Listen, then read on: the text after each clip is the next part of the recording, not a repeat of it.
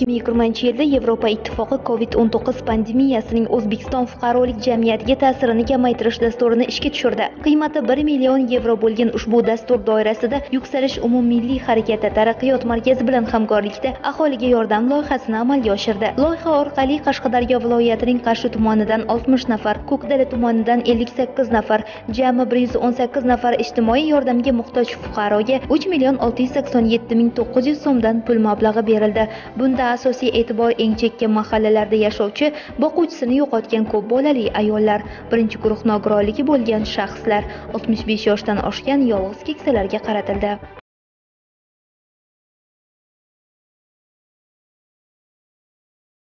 Loyiha mezonlaridan kelib chiqib viloyatning qarshi tumanidan saroy va qoratepa mahalla fuqarolar yig'inlari chiroqchi tumanidan torjilg'a va eski anhor mahalla fuqarolar yig'inlari tanlab olingan edi. Dastlab mahalla raislari va faollar bilan birgalikda o'rganishlar o'tkazilib ehtiyojmand oilalar aniqlab olindi. So'ng ularning yashash sharoitlari birma bir ko'zdan kechirildi. Nimalarga muhtojligi bo'yicha suhbatlar o'tkazildi.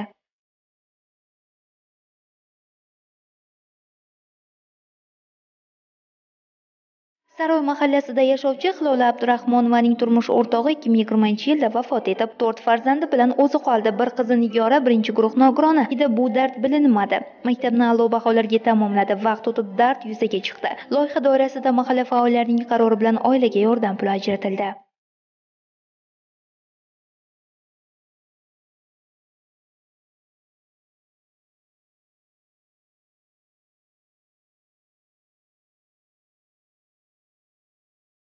Qizimni ko'rishdi. Undan keyin anchagina oyog'ini qilib o'zini salgina tutib faqat davolanib turishi kerakda bu orqaga ketmasligi uchun. Shularga katta rahmat. Endi bizga shunchalik masalan oyoqqa turg'azishga yordam berdilar. Turmush o'rtog'i o'n bir yil oldin xastalikdan vafot etgan uch qo'llik chaqalog'i bilan beva qolgan barno aralova moddiy yordam olgach birinchi bo'lib oshxonasiga muzlatgich xarid qildi. Shu vaqtgacha voyaga yetmagan ikki o'g'lini yediraman ichiraman deb ro'zg'ordan orttirib muzlatgich olishga imkoni bo'lmagandi. Mana endi muzlatgichli bo'lib qoldi.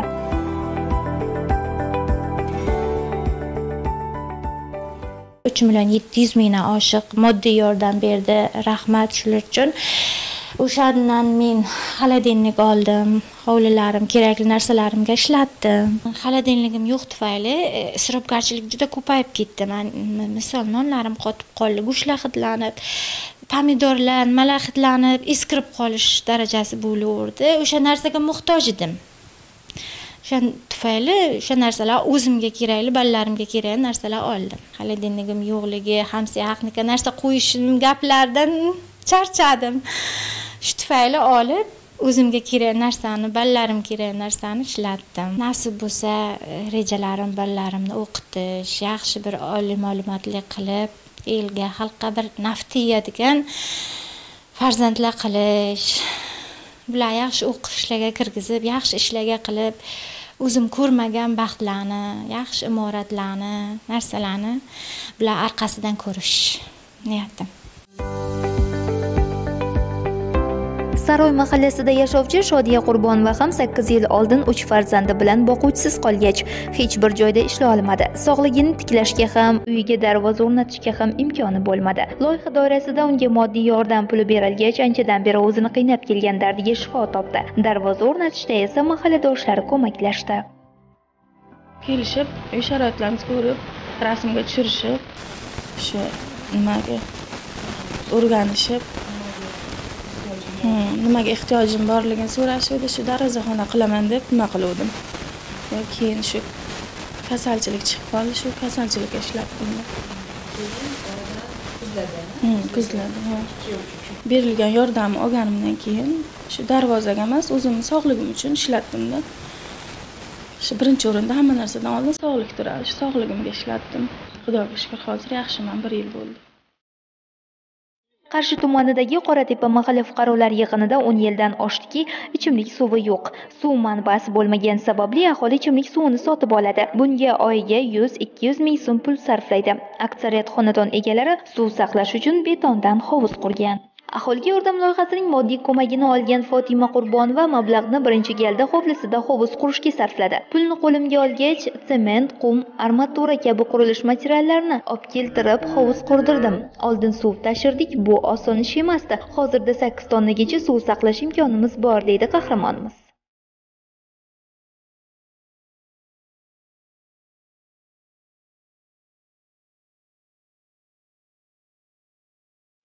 Muxlisa qahhorovaning ikki nafar farzandi bor. Oila boshi olti yil avval vafot etgan. O'zi o'qituvchi edi o'rta maxsus ma'lumoti bo'lgani uchun ko'p ishlay olmadi. Hozirda mavsumiy ishlarda ishlab ro'zg'or tebratmoqda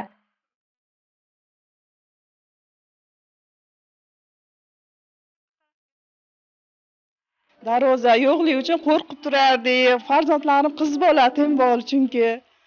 Qo'rqib anaqa qilyapti shu darvozani oldim hozir xuddi nima? deydi. Hamma joyim yopiq egalikda bo'lib yashab turib kelyapmiz shu xursandman shundan Draim Ulashev 5 yildan beri insult xastaligi bilan og'riydi. Harakatsiz bir joyda yotib qolgan. Loyiha doirasida unga berilgan pul mablag'i dori-darmon olishga asqotdi.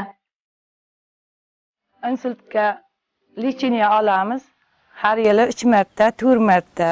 boribmi yo borib borib insultga samarqand shahridan davolanib kelamiz lecheniyalarni olib o'sha paytda ham shunday qilib lecheniya olib keluvdik. Shu lecheniyalarni olgandan so'ng xo'jayinimning ahvoli ancha yengillashdi. Yaxshi bo'ldi. Sizlarga rahmat. Katta rahmat aytaman. Eski Anhorda yashovchi Oyimgul Rayimova qaramog'idagi bir nafar ukasi bilan yangi uy solgan edi. Biroq yetishmovchiliklar sababli tomini yopishga ulgurmagandi. Loyiha doirasida ushbu oilaga ham 3 million 700 ming so'm yordam puli ajratildi. Opa-uka bu pulga yangi opa-uka bu pulga yangi shifer olib kelib tomni yopdi.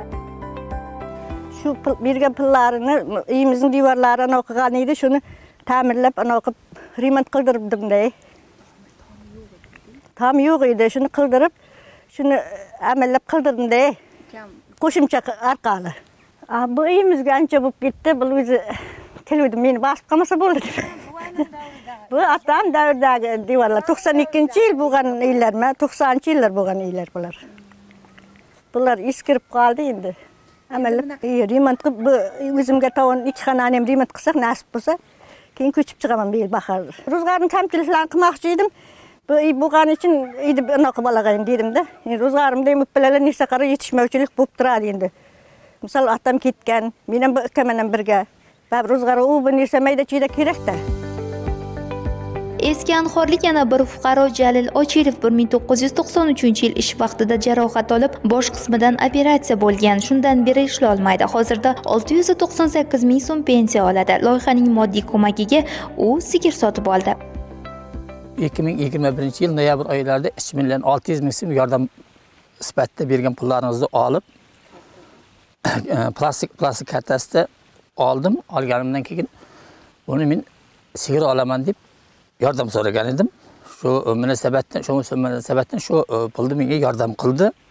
Yordam qilgandan keyin u bu mablag' bozorga borgan vaqtida o'g'limga mol berish imkoni bo'lmadi. O'zimdan qo'shib to'rt million to'rt yarim millionga sigirimni oldim u vaqtda yosh edi hozir endi tug'ishga tayyor bo'lib turgan sigir bo'ldi xudoga shukur hammalaringizga rahmat yordam berganlaringiz uchun nasib bo'lsa sigirimiz sigirim tug'ib buzog'i bo'lgandan keyin shu ro'zg'orimga sut qotiq bemillat bo'ladi aholiga yordam loyihasi qashqadaryo viloyatida amalga oshirilgan chog'da unga o'zbekiston nogironlar jamiyatining qarshi tuman bo'limi ham jalb etildi. Ishchi guruh yig'ilishlarida nogironligi bo'lgan shaxslar va ularning oila a'zolari ishtirok etdi. Ishtirokchilardan ekspertlik so'rovnomasi aholini ijtimoiy himoya qilishning me'yoriy huquqiy asoslari ehtiyojmand aholini ijtimoiy himoya qilish jarayonlarini takomillashtirish yuzasidan fikr va takliflar olindi. Feruza rajabova ham pulni uyining ta'miriga ishlatdi. Eskirgan eshik romlarni yangilab oldi. Ortganini sog'ligiga sarfladi. Davo davolandi berilgan yordamdan minnatdorman. Kelgusida farzandlarimni o'qitib kamolini ko'rish orzuyim deydi u. Aholiga yordam loyihasining asosiy maqsadi mahalliy hokimliklar va tegishli davlat idoralari bilan hamkorlikda qishloq aholisining ehtiyojlarini baholash va manzilli yordam ko'rsatish mahalliy kichik infratuzilmani yaxshilash bo'yicha inklyuziv yondashuvlarni amalga oshirishdan iborat edi. Qayd etish kerak loyiha davomida fuqarolarning jamiyat hayotida qarorlar qabul qilishda erkin ishtiroki ta'minlandi. Ular o'z manfaatlari yo'lida qilinayotgan o'zgarishlarda shunchaki kuzatuvchi bo'lib qolmadi. Aksincha jarayonlarda faol ishtirok etib turli tashabbus va takliflarni ilgari surishdi. Muhimi maqsadga erishildi. Loyiha pandemiya oqibatlarini bartaraf etishda oilalarni kambag'allikdan chiqarishda hukumatga ko'makdosh bo'ldi.